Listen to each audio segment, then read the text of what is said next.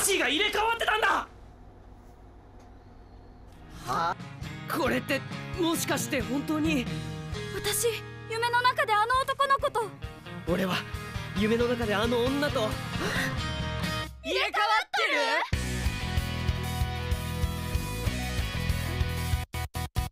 Body swapping. Literally, body swapping is just the swapping of souls, personalities, or psyches between two or more characters. Within anime and manga, the focus of this video, body swapping is usually done within a supernatural or religious context, though occasionally science fiction. The religious context, when it's used, is usually Shinto, though more on that a bit later. Numerous tropes are employed within body swapping narratives, itself serving as a larger, sort of overarching trope.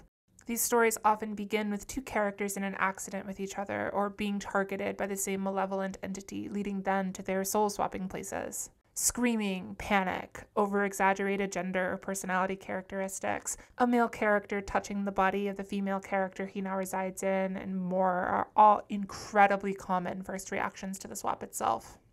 What follows, usually, are the swapped characters seeking each other out, assuming they weren't already in each other's presence, throwing accusations, and setting off to try to figure out how to swap back. When they almost inevitably can't figure it out in the first few hours, there's another moment of panic. The usually teenaged characters explain how to act in each other's homes and then sort of resign themselves for the rest of the day. Shenanigans ensue, of course. They meet up the next day and usually find at least a mildly better idea on how to revert their unfortunate circumstances. The rest of the work then follows them in the hijinks they get up to until things return to normal, which they usually do. These stories all tend to follow a uh, quite similar structure. In fact, a lot of those narrative devices are all so common as to have become somewhat boilerplate. These tropish reactions and narrative beats are used as a sort of shorthand to signal to the audience directly what's happening and are often also played for some kind of laugh.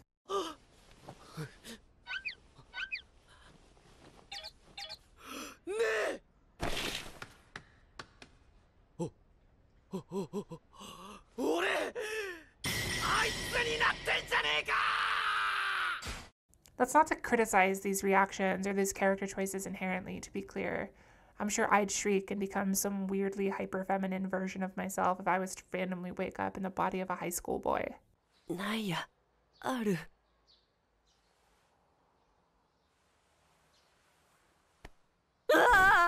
If anything, this shorthand is a sort of testament to how popular body swapping narratives have become, having their own highly specific signals to serve as an almost second language for the audience.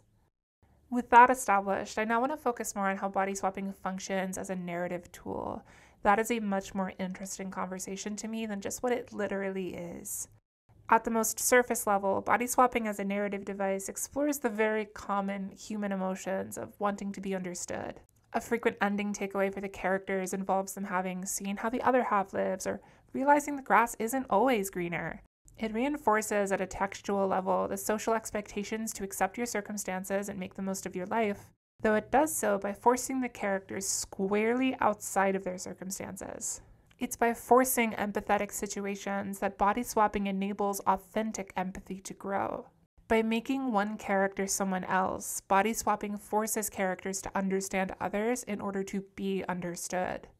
At the same time, though thematically almost contrary, body swapping appeals in almost equal measure to the desire people have to escape themselves or to be someone else entirely. Victims of trauma, people struggling with identity or mental illness, or even just those suffering from poor circumstances are all predisposed in some capacity to wanting major change.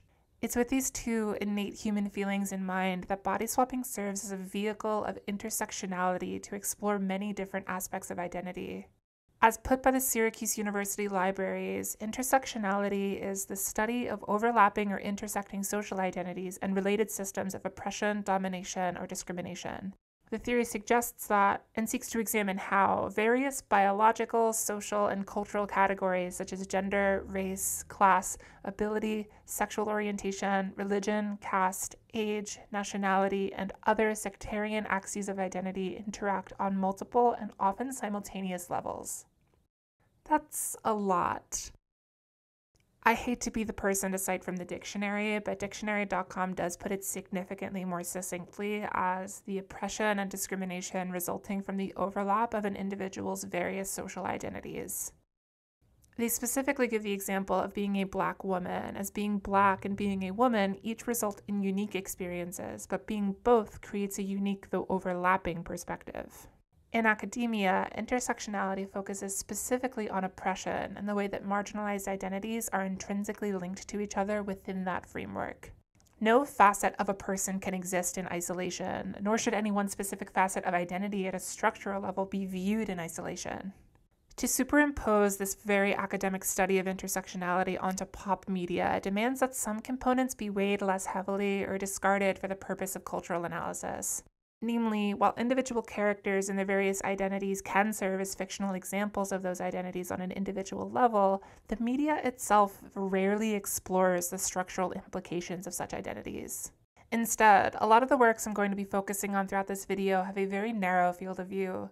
While it wouldn't be impossible to extrapolate these stories into their broader, societally facing intersectional implications, I'm instead going to be focusing on what the coalescing of multiple identities means for the specific individual characters on a case by case basis.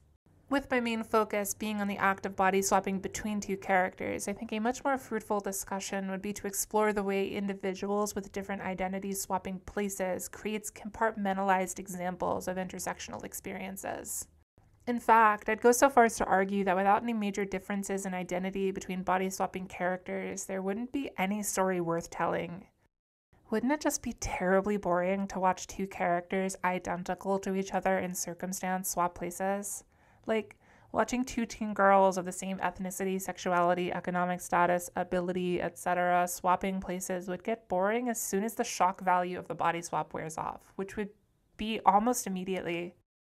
An exchange of some aspect of identity or circumstance is basically necessary, and body swap authors know that. Body swapping narratives all tend to center, or at least flirt with, one central question of identity. How do you know who you are when you're literally someone else? Even further, what makes a person? Who are you at your core, and how do you know?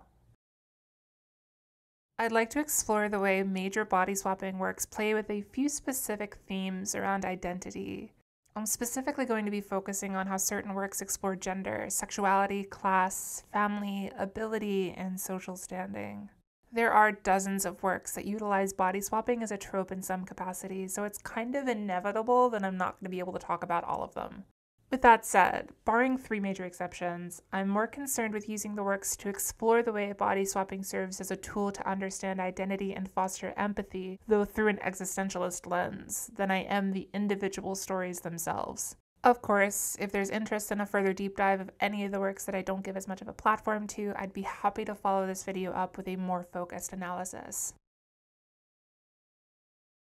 Gender is an incredibly common facet of identity to focus on within Japanese body swapping stories. Works like Your Name, Inside Mari, Puberty Bitter Change, I Love Yuri and Got Body Swapped with a Fujoshi, Corporate Slave and Gal Switch Places, Yamada Kun and the Seven Witches, and many, many more focus quite explicitly on the sex difference between the characters. In most works, like in I Love Yuri and Got Body Swapped with a Fujoshi and Corporate Slave and Gal Switch Places, the gender bend of the body swap serves primarily to help the protagonists learn to view each other in a more human and less alien light. There are jokes, of course, with the male character's soul being obsessed with having tits or seeing the girls changing in a locker room, but that's not the focus.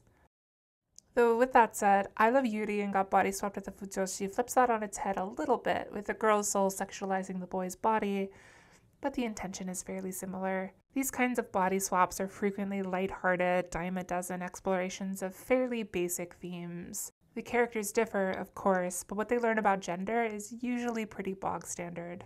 Women are people. Men don't always have it easy. It kinda sucks to be sexualized all the time, huh? Etc. Body swapping is employed as an act of empathy for gender. It's through experiencing a different gendered lens that the characters gain greater appreciation and understanding for a group they had previously viewed from a distance, and usually through stereotype. Works like Tama-chan center that empathy explicitly by having the same actions and attitudes be interpreted by the non-body swapping cast very differently depending on whether a boy or girl is doing it. An overwhelming majority of the body swaps that I've read and watched in preparation for this video center gender in some capacity between the body swapping characters. There's just, there's so much there. Every single person alive has had some gendered experience, either by choice or forced on them by those around them. Exploring the way characters can gain empathy for each other's gendered experiences can translate quite easily onto our own lives, encouraging us to have empathy for others and their gendered experiences. Experiences that most of us only ever see one side of. Class and social expectations are also frequently explored through body swapping, though not to the degree that I would like them to be. I'll explain why. The aforementioned corporate slave in gal switch places follows a worn down salaryman, Enomoto, who's unable to stick up for himself, and a wealthy high school Gyaru, Riko, who feels crushed by family expectations placed upon her. Gyaru, if you're unfamiliar, is a Japanese fashion subculture, but that's kind of beside the point.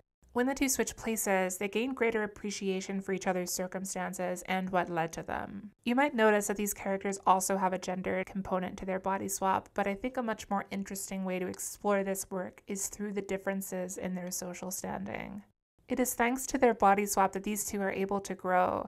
Enomoto is able to learn to be assertive, future oriented, and insistent about his needs. Riko is able to take control of her life and stop letting other people's expectations dictate her. With that said, I did say that I don't love the way that class is usually handled. Class and social expectations tend to be more toned down within body swapping. Unlike many other themes or aspects of identity that the trope tends to gravitate towards, namely gender, its focus on class is often very limited and highly specific to the individual characters, to a degree beyond the way identity usually is. That's not to say that nothing can be taken from the stories. Riko becoming insistent on choosing her own path and Enomoto finding more to his life than work are good lessons. The lessons just tend not to go very far. It's not particularly surprising that they don't, but I can't help but wish that they would. The way that body swapping stories tend to avoid the structural or the societal, except for where they influence the individuals that we're following, is seen kind of in no better way than through class. Questions targeting power structures themselves that create the conditions where the characters find themselves feeling dissatisfied are always white noise at best. No one fundamentally questions the positions of power that Riko's family hold and the way those lead to unfair social expectations. The work only rejects Riko being held to them, not the idea that people could have this power in a general sense. I do think there are still lessons that we can get from these stories, and they do shine a light into the way that authors specifically tend to view ideas of class and differences in social standing between their characters. It's underbaked, but it could be worse. Disability is an underexplored element to body swapping, though serves a very interesting narrative purpose when it actually is employed.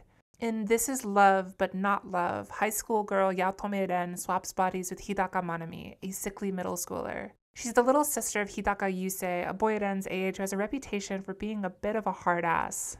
Ren, the protagonist and POV character of the story has empathy forced on her like the characters in other works, but instead of for a gendered experience or class, for disability. Manami is chronically ill, resulting in her need to be cared for by her older brother Yusei. She struggles with weakness, fainting spells, and bouts of fever. As someone who's chronically ill myself, it was honestly kind of captivating to see characters struggle with a very similar disability to my own. When Ren and Manami have a chance to return to their own bodies, Manami refuses. While it's incredibly unfair for Ren to feel stuck with a disability that wasn't her own, that feeling in and of itself is a very common experience for disabled people.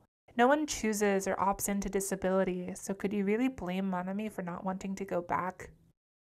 I wish that This Is Love But Not Love centered this discussion on disability more squarely than it does. When it explores it, it's incredibly captivating. Unfortunately, the actual reason Manami refuses to return to her body is not because of disability. It's it's because she's in love with her brother and wants to be able to get with him in a body that is not his sibling, Um, I'm not going to touch that. I shouldn't really need to say how disappointing it is that one of the few stories that actually centers disability is bogged down by a completely unnecessary incest plotline, but I have to acknowledge it. We're just going to move on. So far, we've looked at a few aspects of identity and how body swapping is able to explore them, but what if we went further and utilized body swapping to its fullest potential? What happens when a body swap forgoes any major gimmicks, instead, taking the trope to its most extreme logical conclusion?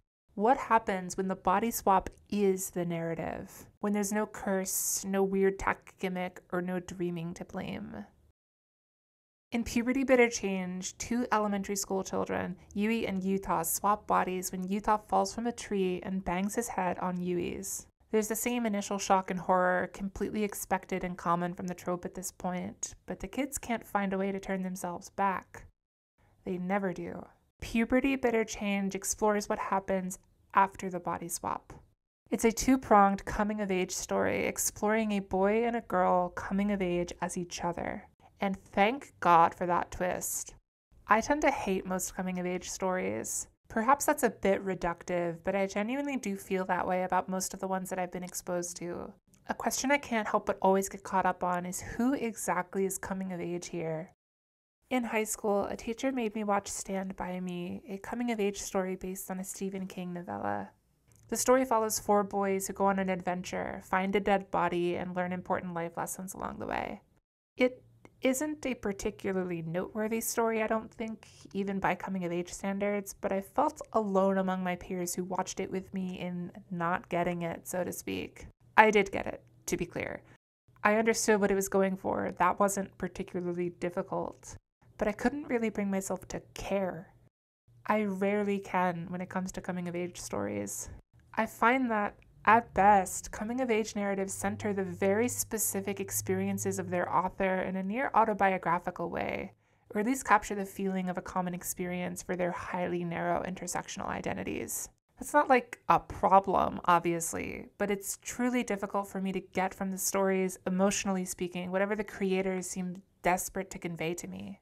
Stand By Me is about four fairly well off white boys in the 1950s who experience a tragedy what the movie intends and what seemingly most people take from it as the capturing of a universally relatable experience just doesn't land for me. The supposedly universal feels wholly foreign. And that's been my experience with most coming of age media, even that which captures aspects of my own intersectionality more explicitly. I like works like The Miseducation of Cameron Post, Lady Bird, and The Perks of Being a Wallflower all stories that more closely resemble aspects of my own identity, but I still don't get from it what others seem to. The exception to this rule for me, at least historically, has been Japanese media. Maybe because of its cultural context being different from my Western experience, I'm able to more easily capture the universality intended with its themes and symbolism. But maybe it's just a coincidence. Or, you know, maybe I just don't like Stephen King. Puberty Bitter Change is the most interesting coming of age story I've ever been exposed to, and I don't think it's really a competition. The inherent fish out of water qualities of a body swap tied directly to the confusion of growing up serves as an in to the characters' psyches, unlike anything available in another coming of age. The protagonists, Yui and Yuta, are uncomfortable with their incredibly strange circumstances and are having anything but a normal adolescent experience. It's through that incredibly foreign and unrelatable experience that the universality other coming of age stories fails to convey shines almost blindingly. Identity is centered more squarely in Puberty Bitter Change than the other body swaps I've mentioned so far. In most of them, the characters have some idea how to change back, or at least somewhat confident that the body swap won't be permanent. Yui and Yuta have no such confidence, at least not really. Everything they try fails. The story follows the two over more than a decade as they maintain an almost dogmatic insistence in preparing for themselves to swap back. They ritualistically meet in the playground to update each other on family and social relationships, seemingly convinced in the face of passing years that they'd, of course, eventually find a way to return to normal. They don't. Yuta experiences Yui's first period, the complication and resolution of tensions within her family, and being treated by men as a sexual object. Yui experiences Yuta's voice drop and his body grow, his younger brother growing up, and his first kiss. But are those really the other's experiences? Despite it originally being her body, Yui never experiences a period, being sexualized by men, or being treated as a daughter by her parents. Yutha never experiences the kiss that Yui felt, his voice dropping, or being a man. They identify with their original bodies for almost the entire run of the manga, but what in the face of a lifetime does that identity really mean? What happens when you come of age as someone else? Yui and Yuta spend the majority of their lives insistent on achieving a future that they refuse to let themselves acknowledge as unachievable. It takes until a near tragedy at the end of the manga for them to realize that the life they'd been chasing was actually the life they'd been living. They learn to value each other by living the experiences that built them. It was by being forced to understand the other that they themselves were finally truly understood by someone. It isn't clean, it isn't happy, and there's no bow to tie the coming of age body swap off. It's because of that, because of how messy and existential puberty bitter change is, that it's able to feel so honest. Not a soul on earth could relate to the specifics of their circumstances, regardless of their intersectionality. Yet Yui and Yuta's coming of age remains effortlessly relatable. A closely related trope to body swapping would be the gender bender, or as MyAnimeList labels it, the magical sex shift. The trope itself is fairly straightforward. One character, often an adolescent boy, suddenly undergoes a total biological physical sex change, showing all external sex characteristics as if they were assigned a different gender at birth. This usually happens when the character wakes up one morning, though infrequently occurs while they're just doing something else. The trope has an incredibly rich body of work behind it, many of which are closely related thematically and functionally to body swapping. The major difference, obviously, is that there isn't a swapping of soul or personality even when multiple people are experiencing a magical sex shift at the same time, as seen in works like Tensei Pandemic, the individuals being affected are still within their own body. It isn't the inside that's changing, but the outside. The overlap in the way gender bender and body swap stories explore intersectional components of identity is quite obvious. Many body swap stories themselves include a degree of gender bending, so it isn't a surprise to see how these adjacent tropes influence each other.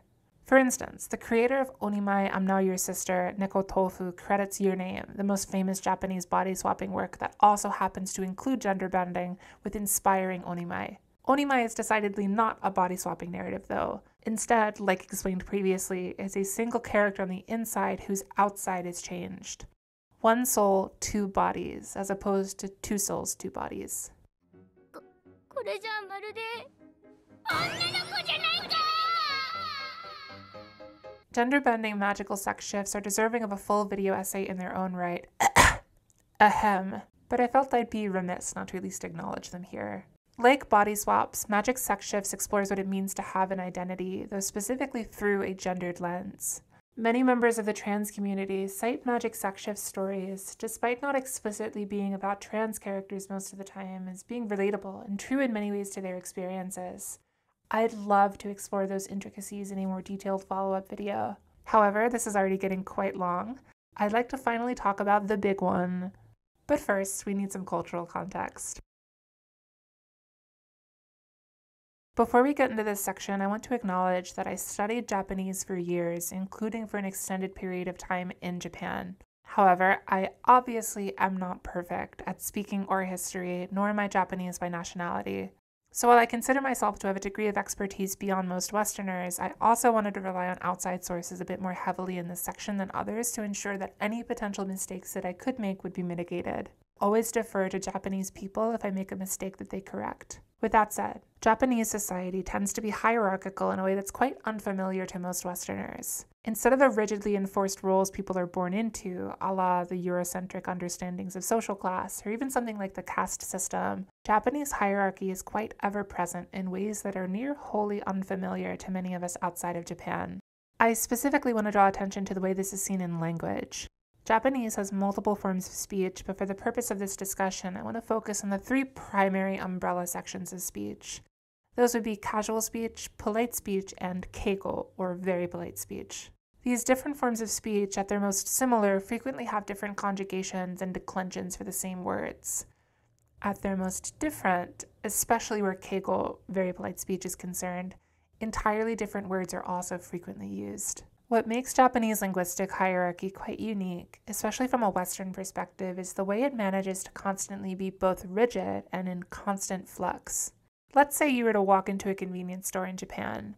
The clerk would almost certainly greet you very politely, using keigo. The expectation from you in that moment would be to respond either politely or casually, though specifically not with keigo, as you, as the customer, are higher in the social hierarchy in that moment. If you were to later be hired for a job at this convenience store, though, the same clerk would become a senior employee in relation to you.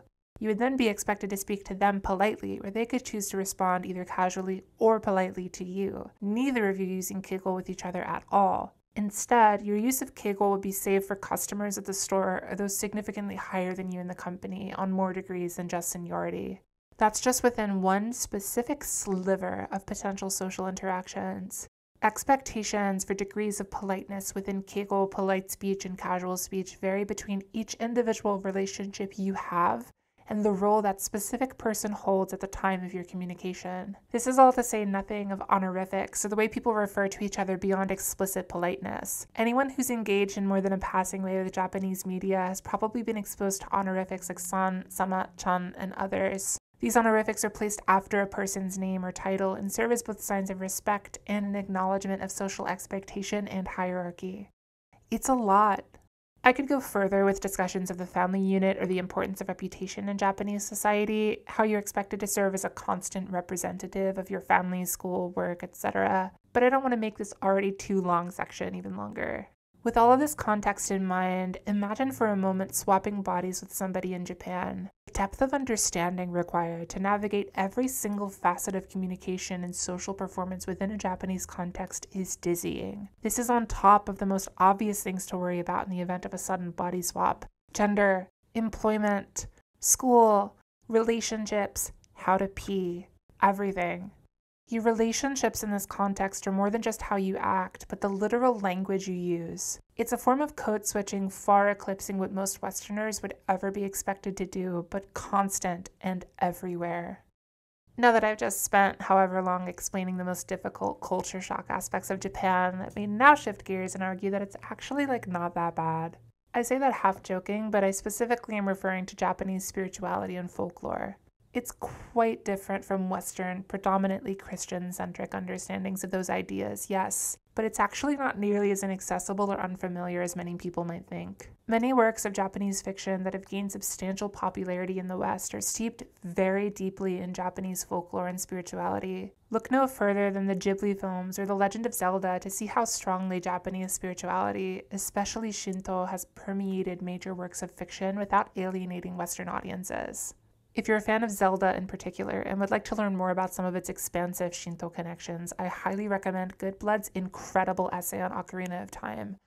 Ocarina of Time, a masterclass in subtext. And this is the first sorrow thread the Shinto line.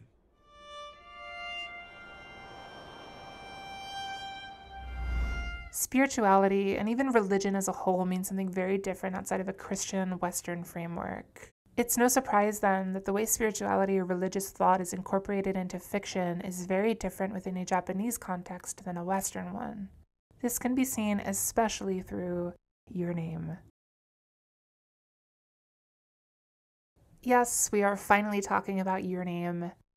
One of the highest grossing Japanese films of all time, Your Name is essentially the seminal body swapping work for many people, at least where anime and manga are concerned. Incredible artistic direction and production value aside, it's actually somewhat surprising just how popular Your Name became on a global scale. Even sidestepping the somewhat niche trope of body swapping, Your Name wears its Shinto and Japanese folklore influences very prominently on its sleeve, and not just aesthetically. Mitsuha, one of the protagonists of the film, is a Shinto priestess in training. The film spends a substantial portion of its runtime in or around a Shinto shrine, with Mitsuha's grandmother serving as a spiritual rock. Taki, a Tokyo high school boy, experiences a culture shock while in Mitsuha's body akin to that presumably felt by much of the audience. But I'm getting a bit ahead of myself. Shinto is the Japanese ethnic religion that has coexisted on the island nation with Buddhism for millennia. Shinto is a polytheistic religion centering deification, a nature focused on spirits and local deities, and ancestral reverence. Many festivals, matsuri, originating from Shinto traditions are hosted throughout the year across Japan, as well as celebrations and holidays originating from other traditions that have been intertwined with Shinto throughout Japanese history, like Tanabata. From the beginning of the film, Mitsuha is seen engaging with kumihimo, or traditional Japanese braiding techniques. The film focuses specifically on the idea of kumihimo as musubi, the tying of knots, the act of connecting, beginning and ending. Mitsuha, Yotsuha, musubi te shitoru ka? Musubi, tochi no Ujigami-sama ona? Furuiko toba de musubi te yobun ya sa. The Shinto influence on your name cannot be understated. As much as your name is a body swapping work, exploring themes the likes of which I've discussed all video, it is also a deeply spiritual homage to folklore and religion. Shinkai Makoto, director, writer, and producer of Your Name, credits The Changelings as a major inspiration for the movie. At least, common knowledge says that he does.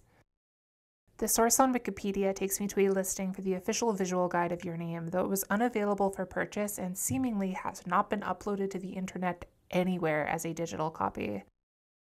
If you happen to have access to the official visual guide, please let me know as I would love to verify the claim. Regardless, though, the connection between the two, even if it is unintentional, is quite easy to see. The Changelings is a centuries old classical Japanese story that follows a boy and a girl who are raised as each other. While the changelings originally existed within a more explicitly Buddhist Japanese context, like most aspects of Japanese folklore, it's become something of a fusion with time. The Changelings is not a body swap in the ways we would recognize the trope today, though it explores themes of gender and station within its cultural context quite similarly. The focus of the Changelings on mannerism in particular can be seen mirrored quite explicitly within your name. Despite much of the writing on your name focusing on its body swapping, its actual use of the trope is much more reserved and limited when compared to many of the other works that I've discussed. Taki and Mitsuha don't stay in perpetual body swapping mode for the entire run of the film, and most of the daily life components of body swapping that other works seem to prioritize as a focus are instead either glossed over as a montage or not included at all. In Your Name, body swapping serves mostly as a tool for contrast and to set up the many spiritual themes of the film. Opposites are on your constant display masculine and feminine, city and nature, secular and religious, past and present, waking and dreams. Body swapping is just one of the many ways opposites are highlighted to be twisted. Like in Puberty Bitter Change, your name asks, How better to learn about yourself than through the experiences of others? How better to highlight what you take for granted than to take it away? Positive and negative space. Twilight and dawn. Male and female. Musubi. Mitsuha and Taki are connected through their fates, commonly represented in East Asian folklore through a red string. Their souls are intertwined and forever tied to each other.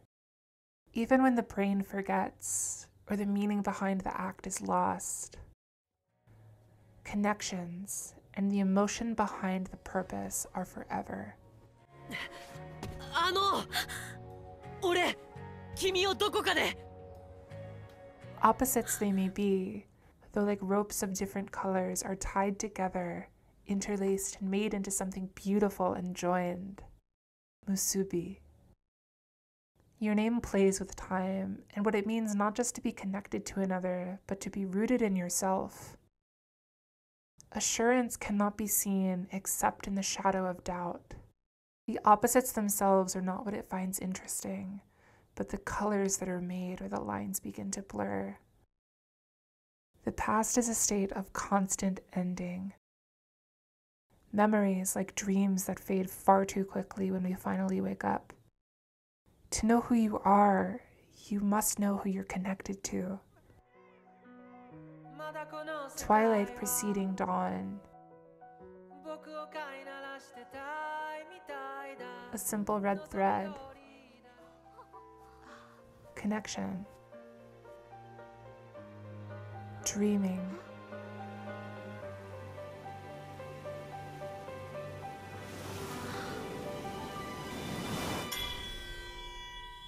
Musubi.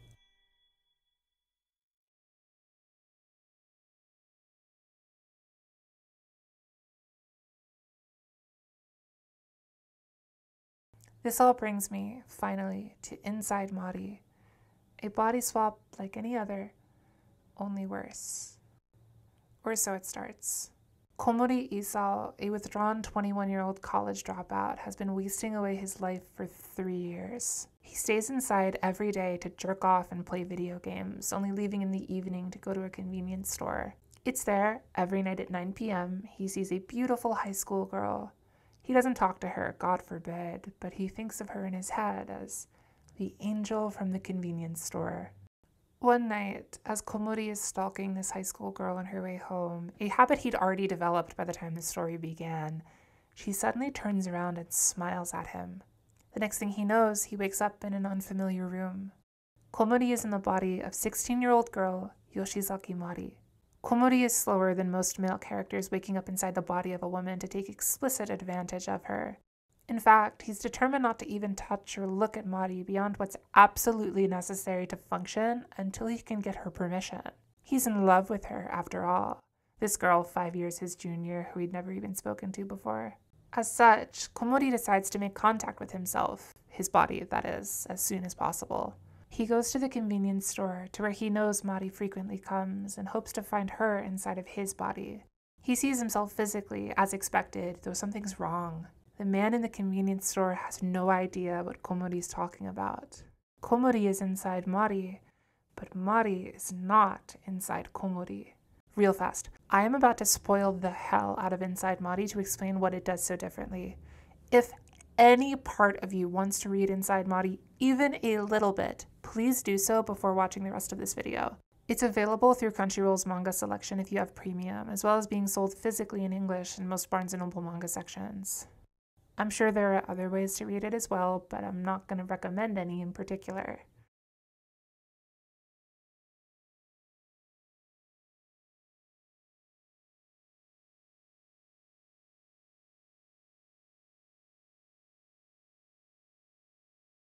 I don't think the story will be ruined for you if you choose to watch anyway. In fact, you may respect what it's doing quite a bit more from the jump, but the suspense of the manga will absolutely be dampened. Proceed at your own risk. Mari is not inside of Komori because Komori is not actually inside Mari. There isn't a body swap. Inside Mari is an example of a trope deconstruction. Put simply, to deconstruct a trope or a genre is to break it down to its most fundamental parts, expose what it does and how it does it, and then use those pieces to twist it into something new. Inside Mari wears the rotting skin of a body swap to deliver a heartbreaking narrative on trauma, identity, and purpose. Fundamentally, Inside Mari seems mostly focused on the identity component, for the protagonist as much as for the author, Oshimi Shuzo. The girl known as Mari was a victim of neglect, abuse, and terribly unfair social expectations. She was belittled by her mother, neglected by her pushover father, and was taught quite clearly from a young age that compliance was key.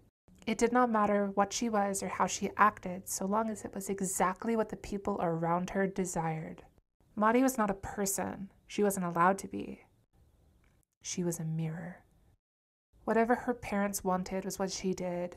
What her friends expected of her is how she would act. Nothing was left for her. Hell, Mari wasn't even her name at birth. Her mother changed it to Mari when she was a toddler to spite her recently deceased mother in law, erasing the identity that Mari had literally been born with. When Mari just happened to spot Komori through a window sometime before the story started, she wasn't repulsed by his living in trash, his jerking off all day, or his lack of any friends, hobbies, or job. The opposite, in fact, she envied him. There was a man able to be so unconcerned with social expectations as to forego everything. Whatever hedonistic impulse Komori had, he could engage free from any repercussions. And he did. Mari quickly realized the extent of Komori's freedom since she was actually the one stalking him before the story began.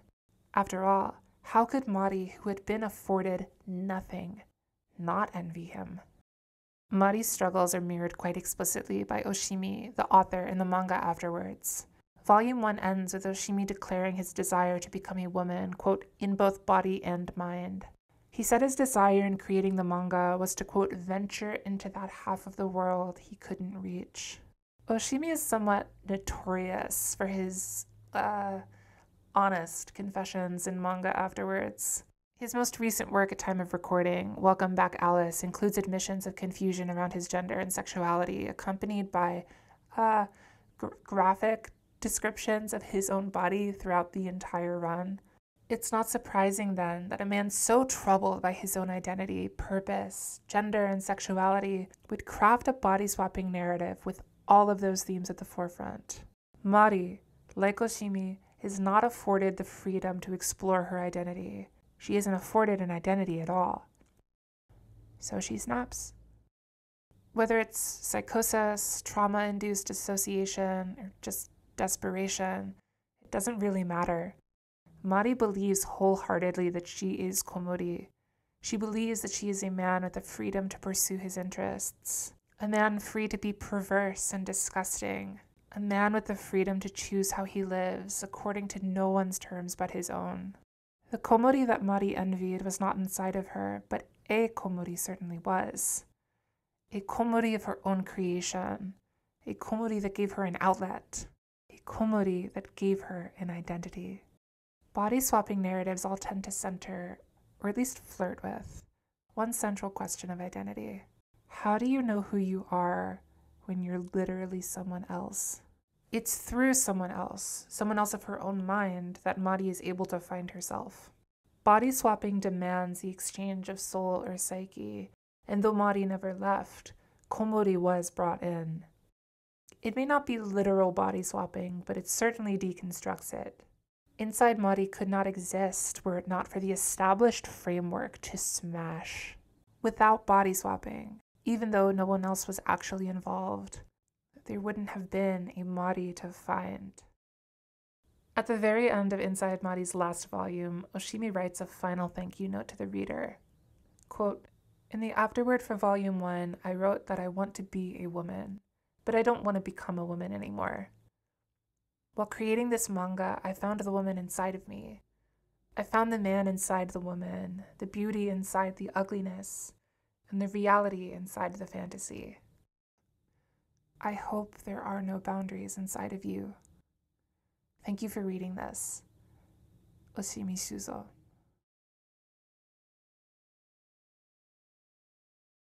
Body swapping is about identity and empathy, and it's existential as hell.